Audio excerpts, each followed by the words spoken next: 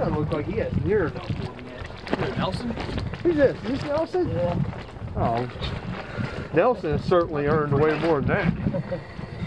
Look here, Nelson. Unclose your legs. Drop them at the lose. When Recruit Class 21 moves on to the practical application of their hazmat training, instructors have a little bit of fun with them. They pour syrup and cinnamon on them, which other recruits will then be charged with scrupulously cleaning before anyone can exit their suit and breathe normal air.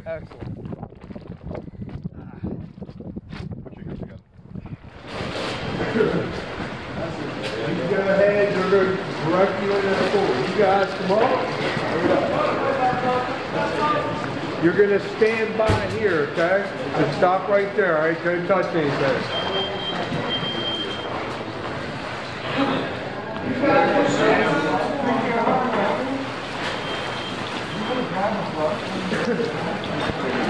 The process is slow and deliberate, with the recruits covered in pretend contaminants repeating the process three times for safe measure.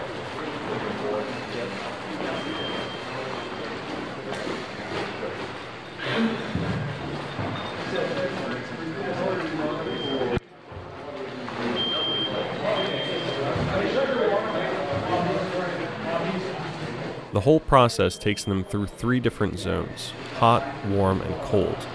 Hot being contamination, warm being the cleaning process, and cold being the safe area. He's already wet. You don't need to make him wet. He's already wet. Just let him.